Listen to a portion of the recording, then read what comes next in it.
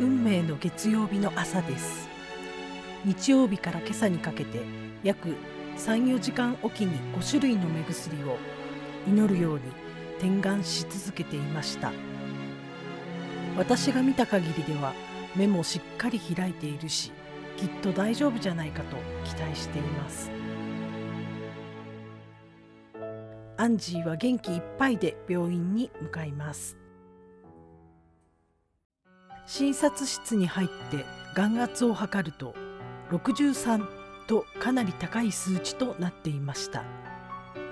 先生からは1年前の術後にも眼圧が急上昇していたこと年齢的にも視力を温存してあげられる可能性に欠けるならば手術するという選択となる。手術のリスクは高いがこの眼圧のままいけば間もなく失明してしまうのは間違いない。トライしてみるのはどうだろうか。最終的にどうするかを決めるのは飼い主さんの判断になります。とのことでした。すでに眼圧60オーバー。明らかに猶予はありません。どのみち失明するにしてもやらない後悔よりやって後悔。いや後悔はしたくないけれど手術することを即決しました。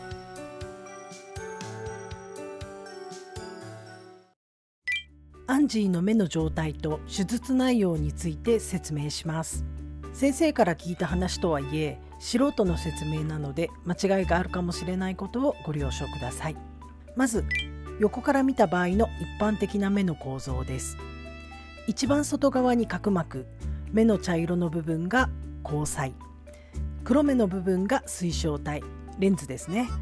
その間は防水で満たされていて交際より前側を前方交際より後ろ側。水晶体側の方ですね。そちらが後房となります。防水は交際の根元水晶体を支えている部分の毛様体から出てきて交際と水晶体の間の瞳孔から前方側に流れてシュレム管から排出されます。常に防水が循環している状態です。これは犬も人も同じです。アンジーの場合まず昨年の手術で水晶体が人工レンズに置き換わっています。人工レンズと交際が癒着し瞳孔ブロックが起き防水の流れが詰まり眼圧が上昇。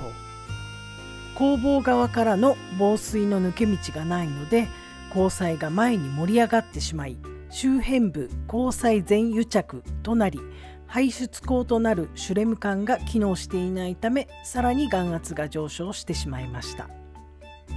手術内容としては交際を切開し防水の流れを作り工房の眼圧を下げる。交際の根元を切開し緑内障バルブを設置し全貌の眼圧を下げる。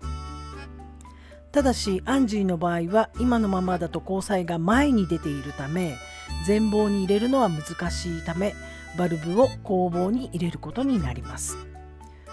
後房に入れる場合チューブが交際の裏になるため見えない状態となり難易度が高い手術となるとのことでした。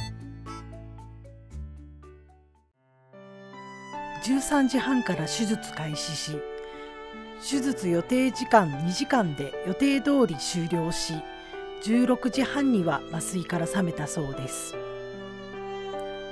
術後の眼圧は20と安定しているとのことでこのまま安定していれば翌日のお迎えとなります。動画を編集している今これからお迎えの予定だったのですが先ほど病院から電話があり夜間から今朝にかけて眼圧が上がったためお迎え時間を後ろにずらすことになりました。まだ安定せず心配がつきませんがアンジーを見守っていただけたら嬉しいです。